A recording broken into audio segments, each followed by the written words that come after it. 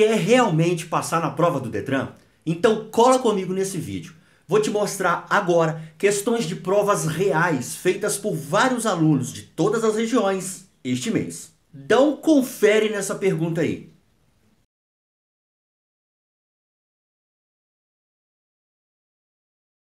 Agora confere essa.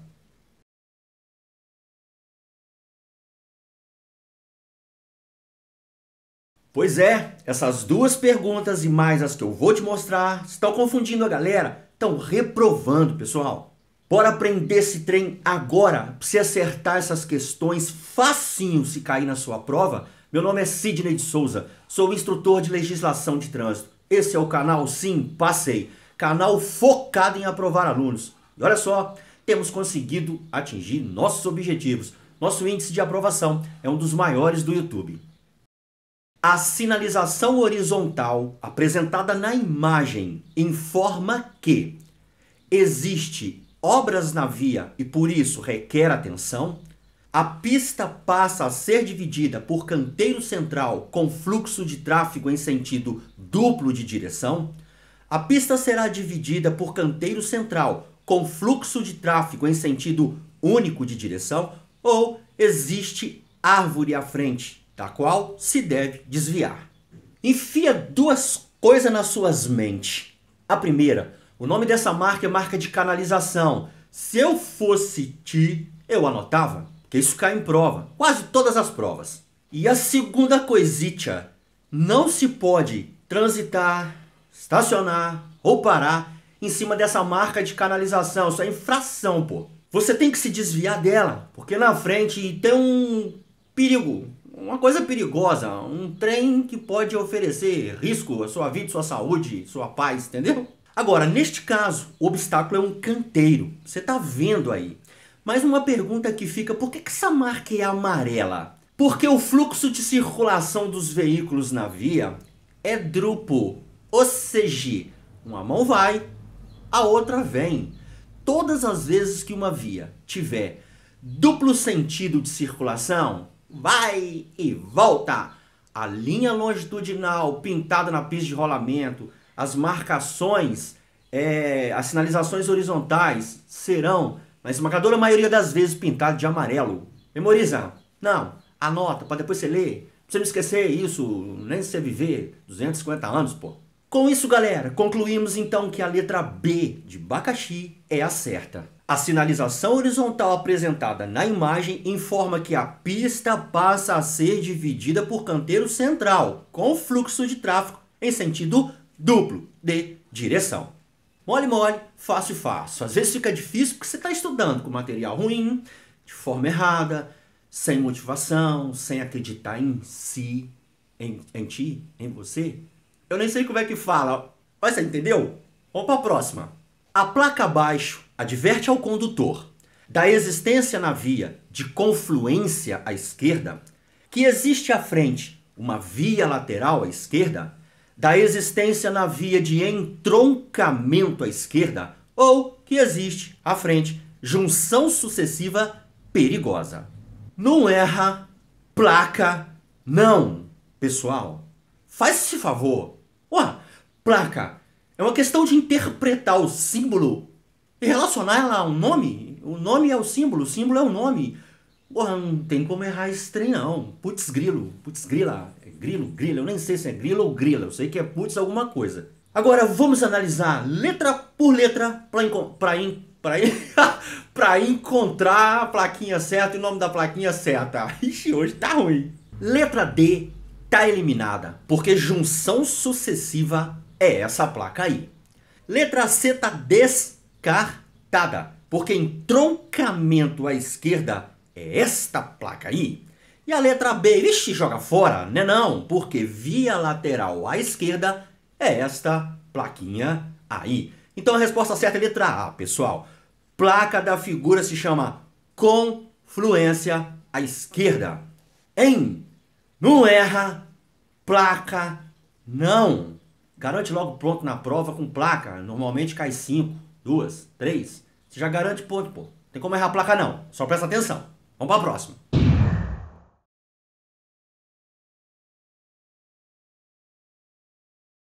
Viu aí meu kit de estudos para a prova do Detran? 900 questões de provas reais corrigidas explicadas com dicas e macetes. E de brinde, te mando 24 áudios com explicação de matéria. Só o que cai em prova.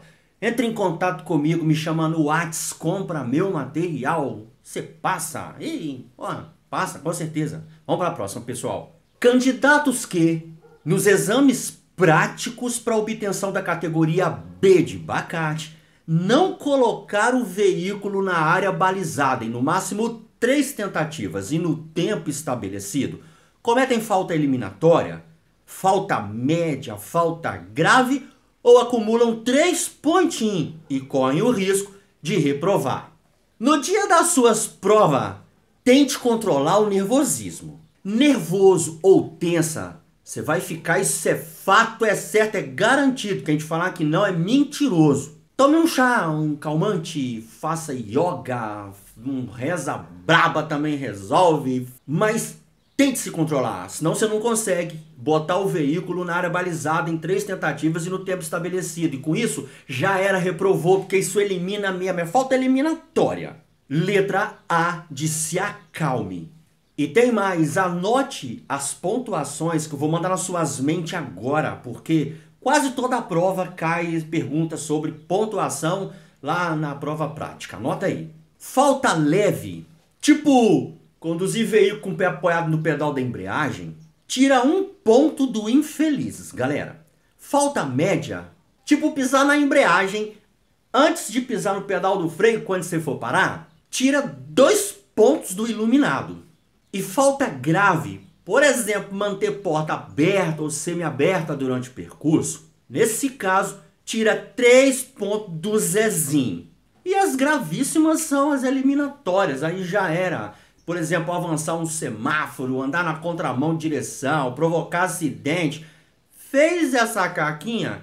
Tchau, vai morrer numa taxinha. De reteste vai ter que fazer o exame novamente no Vai. Ué, acabei de te dar uma dica insana para as aulas práticas, para prova prática. Eu não mereço um like, não? Porra, retribui aí, vai aqui embaixo, ó, o dedinho para cima, para baixo é dislike, pô. Dá um like aí para ajudar o canal. Eu não tô nem te pedindo dinheiro, não tô pedindo que você manda pix para mim não. Eu tô te pedindo um like para retribuir a dica insana que eu te dei aí. Vamos para a próxima. O conjunto que atua nas curvas, fazendo com que uma roda gire mais ou menos que a outra, chama-se ponteira das rodas, barra de direção, diferencial ou pivô de direção. Se eu te der um macetinho nojento para você memorizar essa parada e não esquecer nem na próxima vida, você deixa um comentário aqui no vídeo para ajudar o canal? Vamos combinar essa parada aí? Te dou um macetinho, você deixa um comentário. Bom? A pergunta está se referindo ao equipamento que faz com que uma roda gire diferente da outra. Se a roda está girando diferente uma da outra, a palavra diferente te lembra o quê? Diferencial, né não? Então você captou que eu te dei um macetinho, não captou? Não! é diferencial, pessoal. Letra C, de Sandra. Eu sei, o macetinho foi ruim pra peste. Mas combinado é combinado. Ninguém é obrigado a combinar. Depois que combinou, tem que cumprir. Eu dei o macetinho. Agora você vai aqui e deixa o um comentário para ajudar o canal. Qual das alternativas apresentadas descrevem tipos de veículos quanto à espécie? Reboque e semi-reboque, letra A. Veículos de corrida e de coleção, letra B. Veículos automotores e elétricos, letra C. Ou veículos de propulsão humana e de tração animal, letra D. É a B, pessoal. Veículos de corrida e de coleção são classificação quanto a espécie. E as demais opções? Reboque semi-reboque, automotor e elétrico, propulsão humana e de tração animal, todas se referem à classificação quanto à tração. Tá, mas a pergunta que fica é a seguinte: como que eu memorizo isso para lembrar lá no dia da minha prova? Se eu fizer a prova daqui a três meses ou três anos? Bom, vamos combinar uma parada? Eu te dou um macetinho sinistro, nojento, e você se inscreve no canal. Vou combinar? Não, lá vai, hein? Relacione a tração dos veículos com a seguinte frase. A prova de hoje teve algumas esquisitices ridículas e sinistras. Você vai pegar a primeira letra de cada palavra dessa frase e pronto, e relacionar com a resposta. Automotor, propulsão humana, tração animal, veículo elétrico, reboque, semi-reboque. É, e falando sério, galera, para quem não sabe, isso é científico, é comprovadamente científico. O nome disso é processo mnemônico, quando você faz relações mentais entre uma coisa que precisa ser memorizada e algo, uma frase, um sentimento, uma música. Você pode criar sua própria frase. O, o, exemplo que eu dou aqui foi eu que criei, mas você pode criar uma. Isso funciona. Eu uso isso para decorar infrações. Quer ver? Eu sei que estacionar em túnel é infração grave, porque eu conto as letras da palavra túnel.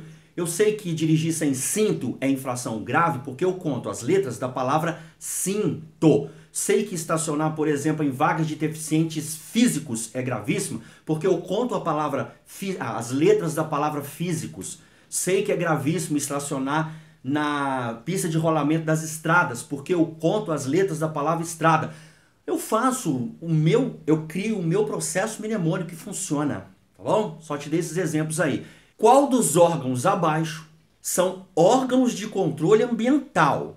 FUNAI e Jari? Não, galera. FUNAI e Conama? Não. FUNAI e IBAMA? Também não. É IBAMA e CONAMA.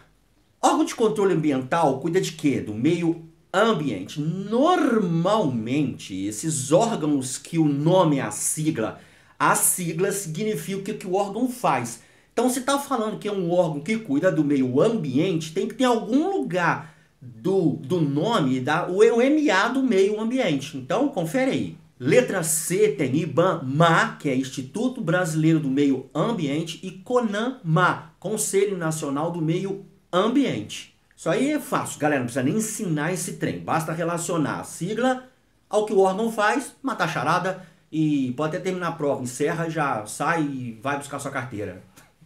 Chamamos de a medida de manter o veículo num local até que uma irregularidade constatada que caracteriza infração seja sanada para que o veículo seja liberado. Como é que isso se chama? Abordagem policial, blitz de trânsito, remoção do veículo ou retenção do veículo. Suponha que você foi pego numa blitz sem habilitação. Seu veículo vai ser preso, segurado, retido ali até que você chame alguém e que alguém se apresente devidamente habilitado para retirar o veículo dali, para que o veículo seja liberado. Até aqui você entendeu? Então, quando uma irregularidade é constatada, o veículo é retido. Se a irregularidade puder ser sanada no local, o veículo é liberado após sanada a irregularidade. Então, galera, o nome disso é retenção tensão do veículo, letra D. E o que seria remoção? Remoção, galera, é retirar. Retirar de um local indevido um veículo que está atrapalhando alguma coisa, causando um transtorno. Bem explicado? Agora você não esquece isso nunca mais. Agora você diferencia retenção, que é manter o veículo retido, preso até resolver o problema e liberar, e remoção, retirar de um local onde está atrapalhando. Pode ser retirado daqui para aqui ou retirado para o pátio credenciado. Fechado? Memorizou aí? Anotou? Repete 30 vezes na sua cabeça e não esquece nunca mais.